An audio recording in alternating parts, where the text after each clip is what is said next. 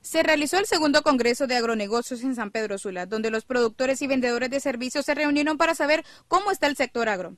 Durante el evento se promovieron herramientas para el fomento de los negocios en la micro y pequeña empresa. Uno de los temas principales fue con los productores de café, con el tema de la enfermedad de la roya, el cual les está afectando a grandes y pequeños productores. Esta es nuestra segunda actividad en Honduras, estamos muy satisfechos con la participación de los productores y de los patrocinadores que permiten que logremos extraer un poco nuestros contenidos de la revista y podamos acercarnos y presentarles información eh, práctica que les aporte a que su producción agropecuaria sea mucho más rentable. ¿no?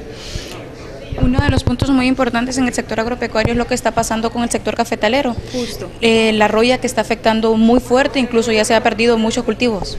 Sí, nosotros justo eh, a finales del año hacemos un calendario editorial planificando todos nuestros contenidos. Para el mes de nuestra próxima edición, la edición marzo-abril, teníamos un tema que venía encaminado al café de origen y viendo justo la problemática y la necesidad, sobre todo, que la idea es que la gente tenga herramientas para combatirla eh, y ver que hay una nueva variedad por estos cambios climáticos que traen una resistencia mucho más grande. Vamos a presentarle a, los productores y a nuestros lectores mm, información práctica para ir, ir, mejorando, ir combatiendo la roya que nos está afectando en todos los países. La alarma fitosanitaria con la, con la roya no solamente está en Honduras, eh, ya hay muchas restricciones en Costa Rica, hay cuarentena en, Panamá ya mm, también hay muchos eh, cafetales afectados.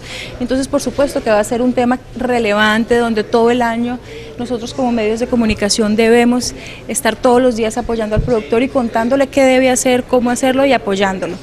Por supuesto, ese tema viene, hay que estar ahí a la vanguardia con esto. ¿Se torna importante el tipo de información que se le, hace a los productores en cuanto a estos temas, en cuanto a estos problemáticas? Sí, por supuesto, ellos saben perfectamente eh, cómo manejarlo. Eh, son quienes están en el día a día de, enfrentar la roya. Pero por supuesto hay temas que hay que reforzar eh, académicamente, hay nuevas, hay nuevas metodologías que pueden apoyar las resistencias, tienen mucho que ver también con, el, el, piso térmico en el que se encuentra el cafetal en ese momento. Entonces hay variedades de semillas mucho más resistentes. Yo creo que hay medidas que se pueden ir, eh, implementando. Nuestra región es líder a, nivel de café y por supuesto tenemos que tomar todas las medidas.